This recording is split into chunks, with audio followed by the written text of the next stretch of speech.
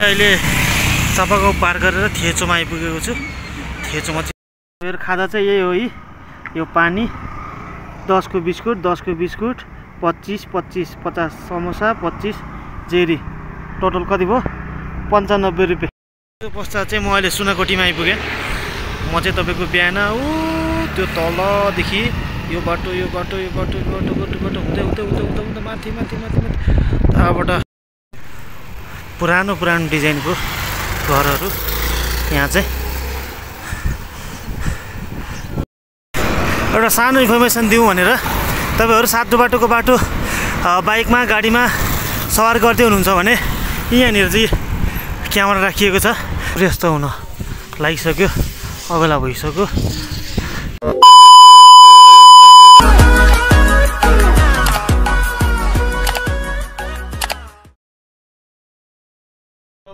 झोर्लाङ हजुर झोर्लाङ झोर्लाङ सम्पूर्णलाई। तपाईँहरू पनि आरामै हुनुहुन्छ होला भन्ने ठुलो आश गरेको छु। म पनि आरामै छु। बाँचेकै छु हाँसेकै छु नाचेकै छु। ए नाच्नु नाच्दिनँ नाच्न आउँदैन पनि। हाँस्नु होला नाच्नु होला बाँच्नु होला। बाँच्नु नै ठुलो कुरो रहेछ जिन्दगीमा। आज शनिबार ए नुहाइ गरियो।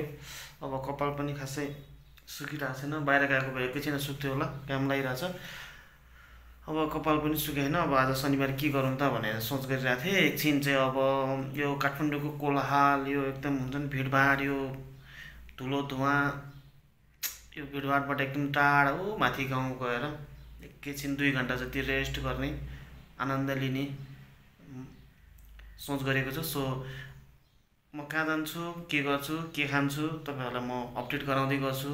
अहिले भने म रुमबाट निस्केँ। म चाहिँ अहिले चुनी खेल आइपुगेँ साइकलले धकल्दै धकल्दै अलिक सजिलो ठाउँमा चलाउँदै। अहिले थकाइ मारेर बसेको मामा हावा चाहिँ डेन्जर चल्दो रहेछ है।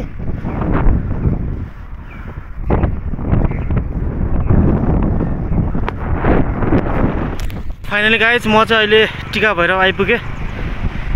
मैले चाहिँ तपाईँको नक्खु नक्खुदेखि भैँसीपाटी भैँसीपाटीबाट छम्पी छम्पीबाट इटाइटी हनुमोट फाइनली टिका भएर टिका भएर आइपुग्यो अनि आउँदाखेरि चाहिँ उकालो बाटो पर्ने भएको कारणले गर्दा भिडियो नबनाइकन आएको थिएँ। जाँदाखेरि भिडियो बनाउँला भनेर सोचेको थिएँ तर जाँदाखेरि चाहिँ म अब यो बाटो सातो बाटो हुँदै निस्किने बाटो जाँदैछु। सो यो बाटो चाहिँ भिडियो बनाउँदै जानेछु। करिब करिब अ, नक्खुबाट दुई घन्टाको यात्रा साइकलमा गरिसकेपछि म चाहिँ अहिले टिका भएर आइपुगेको छु। टिका भएर बाटो चाहिँ तपाईँको यो सातो बाटो निस्किने रोड जुन यो रोड रहेको छ यो बाटो चाहिँ म निस्किँदैछु। अब चाहिँ दुई घन्टाको यात्रा गरिसकेपछि भोक पनि लागिसकेको छ। खाजा साइकलमा छ अनि यो चाहिँ पानी। अब चाहिँ म खाजा खाइवरी तपाईँहरूलाई यो बाटो कस्तो छ यो बाटो चाहिँ तपाईँको यता गयो भने लेले पुग्छ यो बाटो गयो भने चाहिँ हेटौँडा पुग्छ। बट यो बाटो गयो भने चाहिँ सातो बाटो। सो म चाहिँ अब खाजा खाएर निस्किनु पर्ने हुन्छ। मेरो खाजा चाहिँ यही हो है यो पानी दसको बिस्कुट दसको बिस्कुट पच्चिस पच्चिस पचास समोसा पच्चिस जेरी। टोटल कति भयो? पन्चानब्बे रुपियाँ। पन्चानब्बे रुपियाँको चाहिँ खाजा खानुपर्ने हुन्छ अब। अब चाहिँ म पानी खाजा खाँदैछु। देन आफ्टर बाटो लाग्छ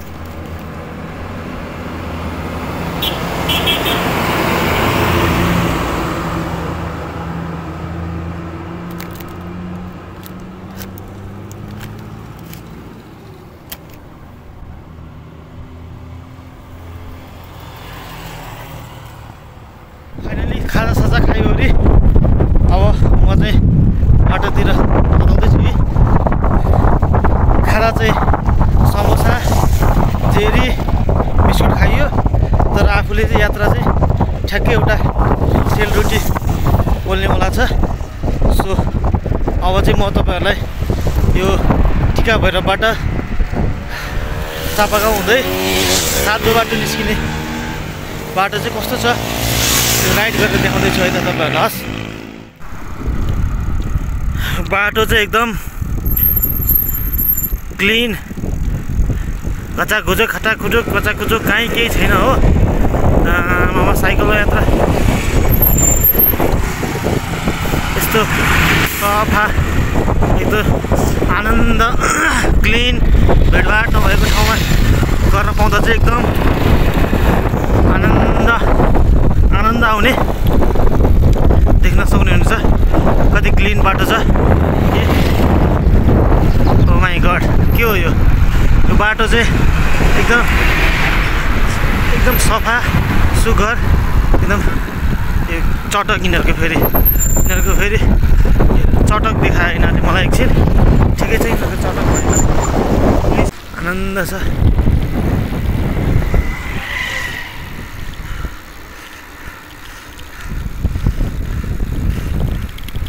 पेट्रोल पम्प सिक म चाहिँ अहिले चापागाउँ आइपुगेँ। चापागाउँमा चाहिँ बस्ती अलिक धेरै भएको कारणले गर्दा होला। भिडभाड बढी छ। ओह्रालो ओह्रालो छ। पढेर खेलाउनु पऱ्यो होइन? थगेला छैन। आनन्द झिल छ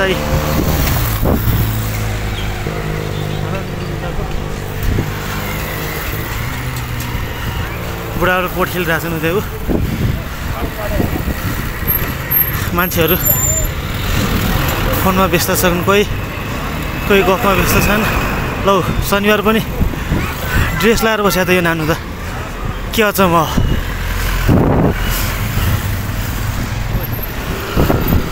साइकललाई हेप्ने यार मान्छेहरू यार। बाइक चढ्ने बित्तिकै साइकललाई त हेपिहाल्न पर्ने। डाँडा टिडी ढाडा डुडु साइड पेल्न पर्ने। हेपिदिने साइकल पेल्ने। उमाई गड एकछिनै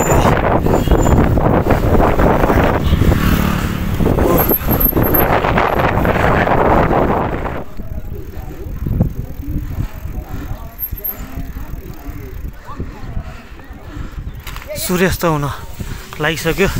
अबेला भइसक्यो। सूर्यास्तको एउटा भिडियो च्याट्ट पाराले लिँदिउँ भनेर अहिले चाहिँ म चापागाउँबाट ओह्रालो झर्दैछु। अहिले चापागाउँ पार गरेर थिएचोमा आइपुगेको छु। थिएचोमा चाहिँ यस्तो तालभन्दा माथि हाम्रो पोखराको तालबराई मन्दिर जस्तै थिएचोमा चाहिँ पानीमाथि एउटा मन्दिर रहेको रहेछ। यो मन्दिर ओम नम शिवाय। बुद्धको मन्दिर दर्शन गरेँ। अब चाहिँ म बुद्धको मन्दिर दर्शन गरेर यहाँदेखि चाहिँ तपाईँको सातो बाटो सातो बाटो चाहिँ निस्किँदैछु। साइकलले त्यो बाटो निस्किँदैछु। सो लेट्स गो पुरानो पुरानो डिजाइनको घरहरू। यहाँ चाहिँ देख्न सक्छौँ हामीले। यो चाहिँ साद्रो बाटो जाने बाटो म अन द वे अहिले गोदावरी बाह्र थेचोमा साइकल यात्रा हुँदैछ थेचो। बुढाहरू चिया खाइरहेछन् हे कोही गफ गरिरहेछन् रात पर्न लाग्यो। मौसमले च्यालेन्ज दिएको थियो। पानी पर्छ कि जस्तो गरेर पानी सानी चाहिँ पारेन मौसमले। तर आज घुम्न चाहिँ एकदम रमाइलो भइरहेको छ। किनभने जाँदा उकालो उकालो जस्तो गरेर साइकल डोराउँदै डोराउँदै डोराउँदै कुनै ठाउँमा चलाउँदै डोराउँदै गइरहेको थिएँ। तर फर्किँदा चाहिँ तपाईँको एक ठाउँ पनि डोराउनु परेको छैन। सम्भवतः सात बाटोसम्म ओह्रालो नै छ। किनभने यो बाटो म गाडी लिएर आइसकेको छु। सो साइकल धकाउनु पर्ने उचाल्न पर्ने त्यस्तो स्थिति छैन। पश्चात चाहिँ म अहिले सुनाकोटीमा आइपुगेँ। म चाहिँ तपाईँको बिहान ऊ त्यो तलदेखि यो बाटो यो बाटो यो बाटो यो बाटो बाटो बाटो हुँदै हुँदै हुँदै हुँदै हुँदै माथि माथि माथि माथि तलबाट एक राउन्ड मारेर यहाँ सुनाकोटीमा आइपुगेको छु। अब सम्भवतः पाँच मिनट दुई मिनट तिन मिनटमा सातो बाटो पनि निस्किन्छ। अब मेरो मोबाइल पनि Samsung S twenty four Ultra भएको भए जुम गरेर यो बाटो गएको भने देखाउनुहुन्थ्यो। आफ्नो जुम गऱ्यो भने त यी यस्तो देख्छ। सो जुम सुम नगरौँ होला। यहाँ अगाडि बढ्दैछु म बिस्तारै बिस्तारै। देख्न सक्नुहुने चाहिँ यहाँ मन्दिर छ। ओम नम शिवाय। चाहिँ चाहिँ के हो? ठुलो धुप यस्तै नै राम मन्दिरमा हालेको थिएँ ओम नम शिवाय। मन्दिरै मन्दिर देख्न सक्नुहुनेछ। एकदम हिँड्नलाई चाहिँ एकदम आनन्द। शीतल भएको छ तर पानी पर्ला जस्तो भइसक्यो। अब चाहिँ मैले बिस्तारै ढिलो गरेर यसरी भिडियो बनाउँदै बिस्तारै बिस्तारै गयो भने चाहिँ मेरो मलाई अब यो सायद अब पानी त नपर्ला। पनि परिहाल्यो भने म चाहिँ पानीले तपाईँको डुटो पिठो मैलो सबै थोक हुन्छ। सो म चाहिँ अब छिटो छिटो जानुपर्ने हुन्छ। है अब यस्तो ओह्रालोमा पनि साइकल खियाएर जानुपर्ने हुन्छ।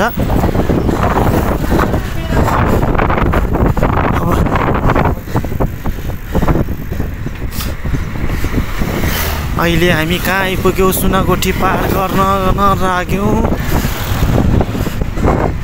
सुनाकोठी नाम पनि कस्तो सुनाकोठी कोठी? भन्ने शब्द त एउटा कि त गालामा आउने कालोलाई कोठी भन्छ। कि त अर्कै अब बुझ्नुहोस् अर्कै भनेपछि एउटा कोठी भन्छ। यहाँ चाहिँ अब सुनाकोठी नामकरण गरिएको छ यो ठाउँलाई। अब हामी तपाईँको यहाँबाट एउटा सानो इन्फर्मेसन दिउँ भनेर तपाईँहरू सातो बाटोको बाटो बाइकमा गाडीमा सवार गर्दै हुनुहुन्छ भने यहाँनिर चाहिँ क्यामेरा राखिएको छ। तपाईँ day night evening morning afternoon जतिखेर पनि तपाईँ स्पिड लिमिट क्रस गर्नुभयो भने यो क्यामेराले च्याक्क पारेर खिचेर तपाईँको ट्याक्क फोन आउँछ। त्यसपछि कतिको चिट काट्ने हो कति ऊ के भन्छ त्यो एक्जाम लिनुपर्ने हुन्छ त्यहाँ गएर। कोचिङ क्लास लिनुपर्ने हुन्छ। दुःख पाउनु छैन भने चाहिँ जम्मा यहाँ स्पिड लिमिट चाहिँ पचास हो। पचासभन्दा तल नै कुदाउनु होला। पचासभन्दा माथि सान दिएर कुदायो भने चाहिँ फेरि त्यही हो। चिट पनि काटिन्छ।